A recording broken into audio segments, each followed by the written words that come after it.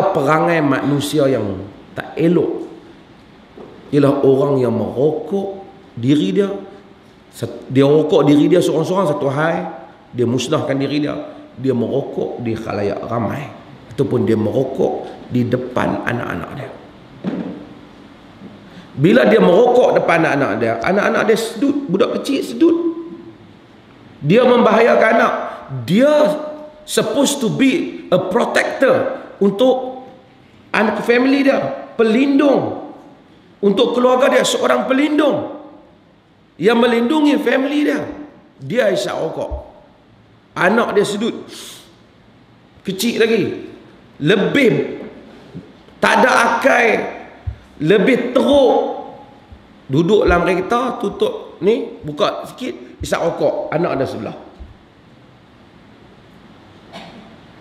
Isteri ada sebelah kalau isteri bawa pergi ke mahkamah kata saya ter, terancam hidup saya kerana suami saya isap rokok dan saya dalam keadaan bayar. Kalau saya hakim saya pasahkan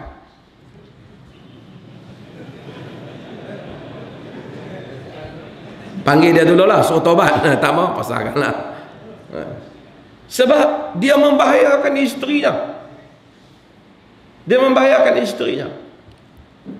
Lebih jahat lagi apabila dia pergi hisap rokok di tempat khalayak umum orang tulis dah dilarang merokok gambar rokok pangkah. Dia tengok-tengok gambar rokok teringat rokok terus buat keluar.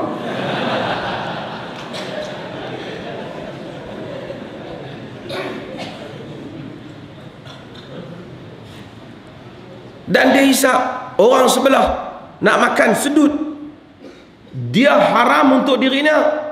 Haram kerana dia telah menyakiti orang lain. Menyakitkan orang mukmin bi ghairi maktasabu kata Quran.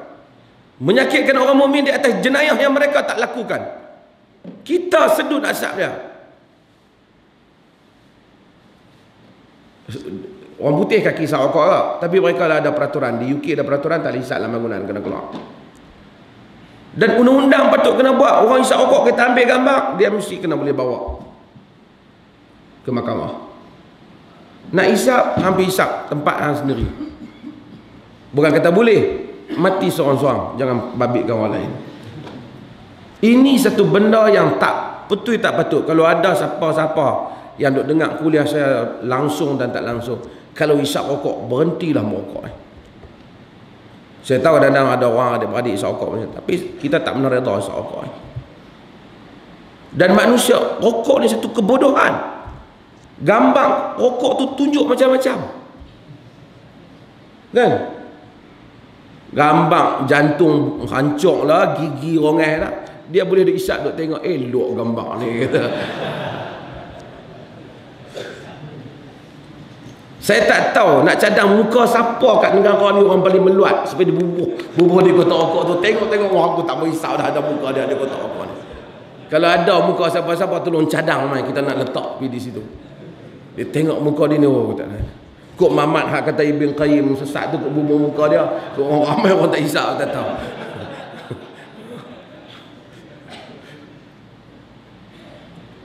Ini teruk. Berhentilah benda dan harga orang kadang-kadang cari dalil kan, cari dalil. Ada kitab mana? Kata rokok makro